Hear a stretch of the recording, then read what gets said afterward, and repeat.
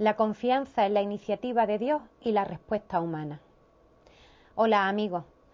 El pasado domingo, durante la oración mariana del Regina Cheli, que sustituye al Ángelus durante la cincuentena pascual, y tras la celebración eucarística en la que había consagrado a 19 nuevos sacerdotes de la diócesis de Roma, el Papa nos dijo que había escogido ese domingo, el cuarto de Pascua, para dichas ordenaciones porque el Evangelio del Buen Pastor ofrece un contexto particularmente adecuado.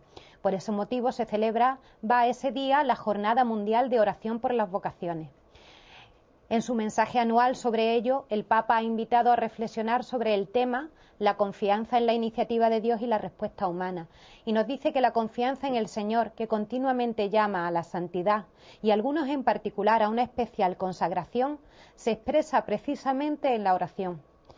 Tanto personalmente como en comunidad tenemos que rezar mucho por las vocaciones, para que la grandeza y la belleza del amor de Dios atraiga a muchos a seguir a Cristo por el camino del sacerdocio y de la vida consagrada.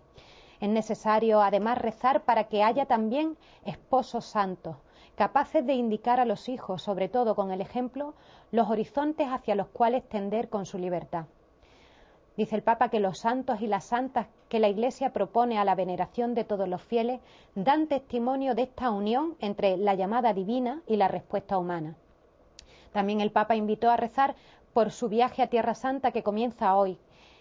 Con su visita, dijo el Papa, se propone alentar a los cristianos de Tierra Santa que tienen que afrontar cotidianamente muchas dificultades. Además, será peregrino de paz, en el nombre del único Dios que es Padre de todo testimoniará el compromiso de la Iglesia Católica a favor de cuantos se esfuerzan por practicar el diálogo y la reconciliación para llegar a una paz estable y duradera en la justicia y el respeto recíproco. Por último, este viaje tendrá necesariamente una notable importancia ecuménica e interreligiosa. Jerusalén es, desde el punto de vista, la ciudad símbolo por excelencia. En ella Cristo murió para reunir a todos los hijos de Dios dispersos. Nada más amigos, te espero aquí en Diócesis TV.